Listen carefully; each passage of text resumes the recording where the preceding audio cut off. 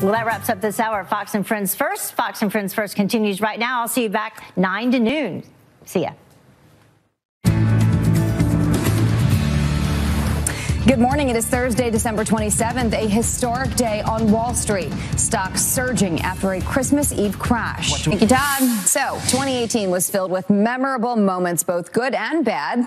What were the best and worst moments in politics? So many to choose from. So many to choose from. It was hard to go through them all this you year. You probably spent a million hours trying to go through them. Okay, let's get to the first one here and the best America First moment. Take a look at this. Well, Independence gave it a B minus there. Absolutely. Let's go ahead to uh, number three and Hillary Clinton's best moment.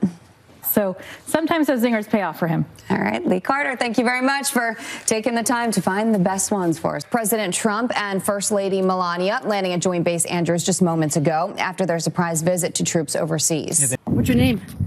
Did you just steal something? Give it. I'm gonna call the police. I've got you on camera.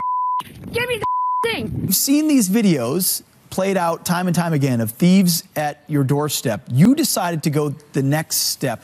Walk us through what happened, your realization something's being stolen, and then when did you make the decision I'm going to do something about it? I contacted the police when it was over and I got home and I actually could caught my breath. A little unusual that it's this overt. Uh, there's always a question of how rise a little bit for people to finally be able to get a return on their savings accounts mm -hmm. uh, during that. Uh where is where are the biggest problems in terms of either trade or uh, have to see, but that I think would be the top issue longer term. Wall today, though. Is she right, Lisa Boothe?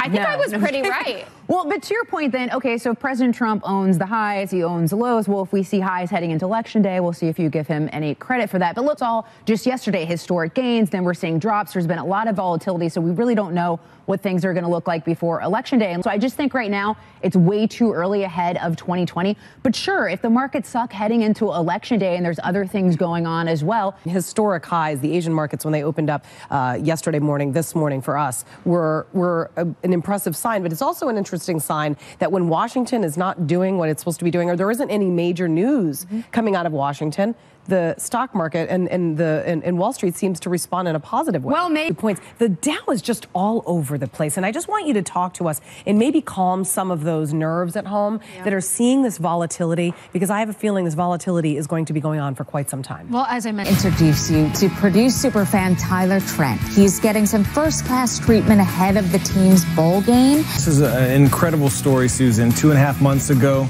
Uh, doctors gave Tyler Trent. Their quarterback, Baker Mayfield, can lead them to a victory over the Ravens. He will never have to pay for a drink I've in seen Pittsburgh. that a lot on Twitter. People cheering for a team they may not like, but it's so their team can move can forward. Can make the playoffs, yeah. All right, Court, thanks. You're welcome. We're talking Miley Cyrus. She is making it Instagram official. Purdue superfan Tyler Trent is getting some first class treatment ahead of the team's bowl game because of an owner of a pro football yeah. team is yeah, doing this, this for uh, him. What a guy. Yeah, and uh, my goodness, so, so good that someone can do something good for this young man. Hello, everyone. I'm Kate Bolduan. From his first trip to a combat zone to his gazillionth trip to his comfort zone, President Trump is back at the White House right now and back on Twitter after his secret, unannounced visit to U.S. troops in Iraq.